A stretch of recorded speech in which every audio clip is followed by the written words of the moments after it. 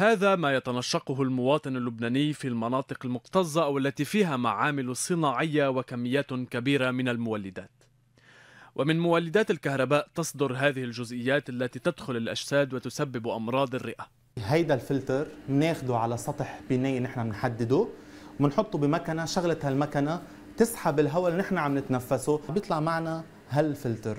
هالفلتر هو عبارة عن هالجزيئيات نحن عم نتنفسها. هاي معناتها الطقس كتير كان معبى تلوث جزيئيات سامة وهالجزيئيات اللي بتوصل لقلب الرواية أو لجوات الرواية. هذه الفترة من السنة تعتبر الأكثر تلوثا خصوصا أن الهواء ينحصر مما تتكتل الجزئيات والانبعاثات السامة الصادرة عن المولدات.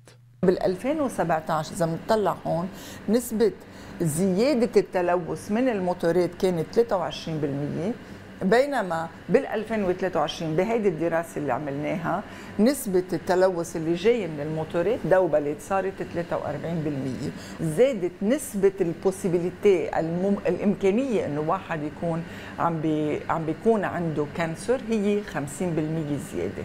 التعاميم الصادرة عن وزارة البيئة تلزم جميع أصحاب المولدات بتركيب فلترات حفاظا على سلامة المواطنين. بلشنا نحضر الملف لحتى نحاسب الناس اللي وصلتنا لهون. بتمنى على كل شخص بيشوف إنه الموتورات اللي حوالى بيوته ما فيها فلاتر يتصل بالسلطات المعنية اللي هي موجودة حواليه لحتى يطبق القانون. وإذا منه قادر لحاله يتصل فينا ونحن منلاحق الموضوع. هيدا منه الحل.